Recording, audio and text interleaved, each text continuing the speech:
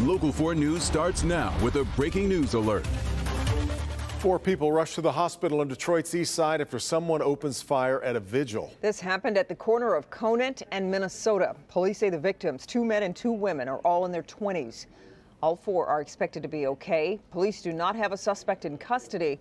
We'll bring you any new information as it becomes available. Also developing a shooting at Briarwood Mall in Ann Arbor leaves one man with a gunshot wound and police on the scene for hours. When the 911 call first came in, it was reported as multiple shots fired inside the mall. Police later saying it was contained to the Von Maur, uh, the Von Maur store. Mara McDonald live in Ann Arbor. Uh, uh Mara, police are saying this was not random, right? Correct, Evan. And let's be clear right now Ann Arbor police are not going on the record with much about what happened here. But what they will say is this from everything that they have looked at, including surveillance video inside this store, they say this does not appear to be a random shooting at the mall. Let me show you.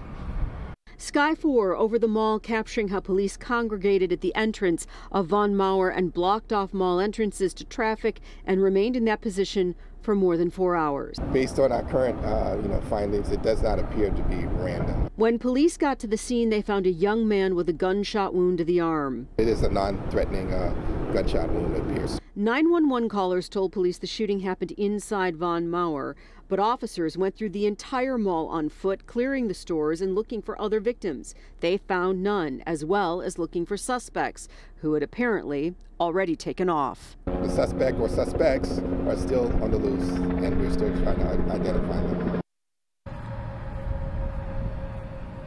Back here live, that young man was shot inside the mall, but he made his way outside of the mall. So by the time EMS and police all got out here, he was out here. So there was originally some confusion about where exactly this had happened, but police confirmed tonight absolutely inside the store.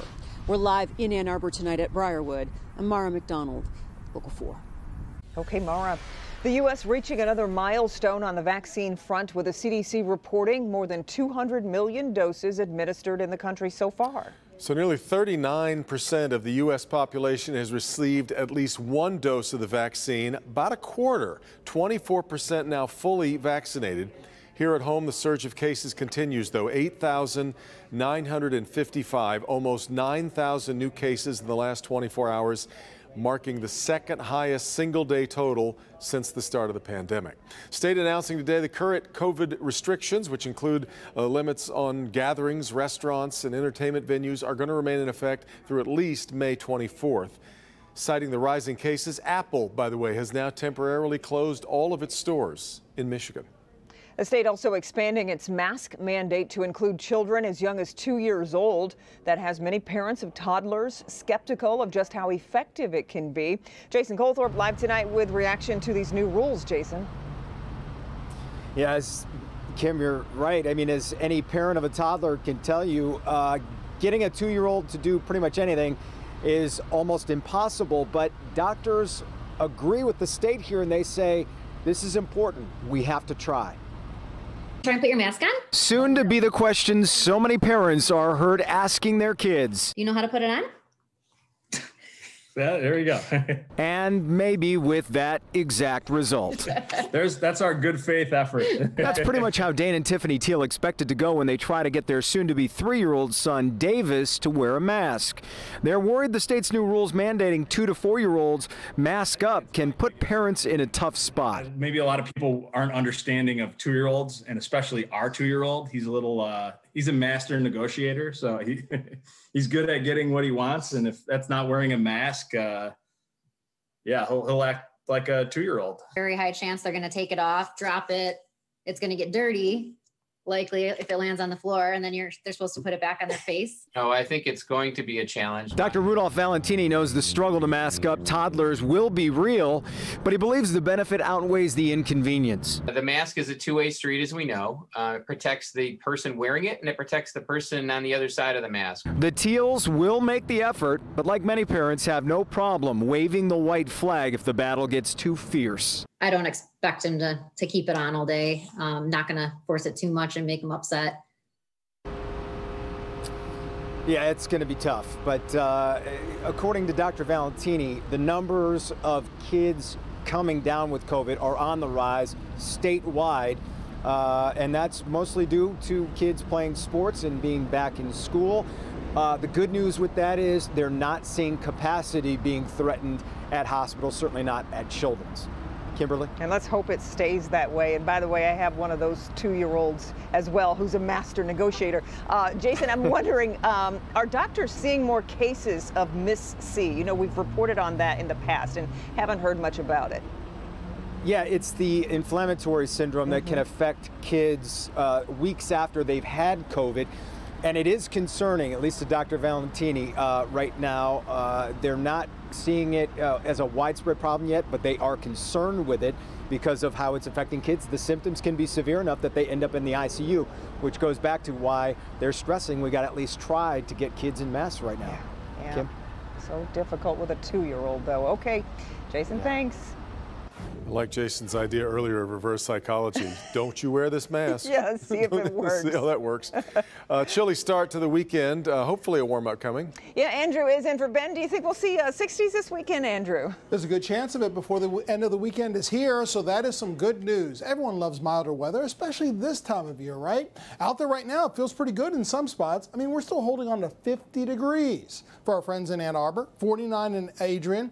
Elsewhere, though, it is much chillier. 43 over at Metro Airport, in the 30s still, 39 degrees over in Port Huron. But that temperature really hasn't budged since you joined us earlier this evening at 6 o'clock. 43 right now. Temperatures will continue to drop, just like it's 39 over in Port Huron. Temperatures will drop into the 30s overnight across all of southeast Michigan as these skies clear. Now, by morning, we'll see partly to mostly sunny skies, but it will be colder with temperatures starting in the middle 20s here in the city, but in the low 20s in many outlying areas, especially the Thumb and in Livingston County. Where do temperatures go from here? They do get closer to 60, but is it on Saturday or Sunday or both? We'll talk about that and your seven day forecast in minutes. Okay, Andrew. The Livingston County prosecutor says State Rep Jewel Jones was driving drunk and resisted arrest during an incident last week along I 96. Today, Jones made his first appearance in court to be arraigned on those charges. Prosecutors say Jones's blood alcohol content was more than twice the legal limit. It's alleged he drove from Southfield to Fowlerville, where he crashed his car in a ditch. Prosecutors say Jones became uncooperative when paramedics tried helping his passenger who was in need of treatment. That's when police were called. Your Honor, the defendant's uh, behaviors were reported to be um, so serious that they had escalated to a point that the troopers had to um, tase and pepper spray the defendant. The judge has ordered Jones not to drink alcohol or do drugs and says he'll undergo random testing. Uh, an orange barrel alert. I 75 now closed for the weekend in southern Oakland County. Freeway shut down in both directions between I 696 and 8 Mile for bridge and road work. All the lanes, though, will be reopened Monday morning by 5 a.m.